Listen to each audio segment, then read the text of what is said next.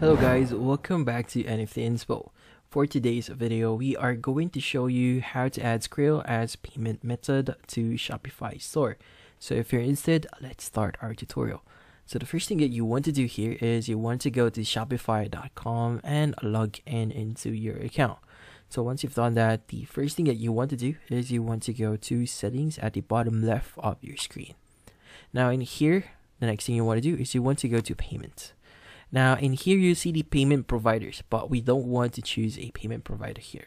We want to go to supported payment methods. So just click on add payment methods. And here you want to do the search by provider option here. So not the search by payment methods. So here next thing you want to do is you want to type in Skrill.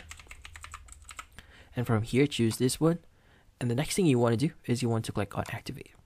Now from here, it's going to give you information about Skrill and as well as the account information that you need to enter.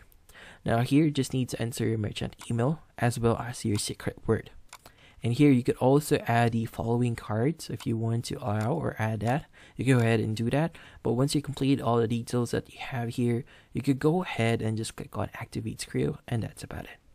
So hopefully this video was able to help you. Like and subscribe to NFT Inspo. Thank you for watching.